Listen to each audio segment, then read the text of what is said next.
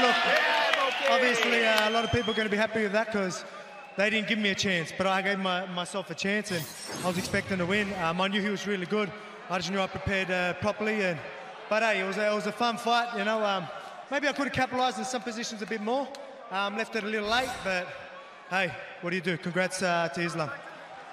You, without doubt, though, gave him the hardest fight of his career. You stepped up, you gave it a really good shot. You got to be proud of yourself. Yeah, yeah, definitely. Well, obviously, um, he didn't respect my my wrestling grappling, and I guess maybe I didn't uh, respect his uh, striking enough either because he landed some shots. So, uh, fair play to both of us.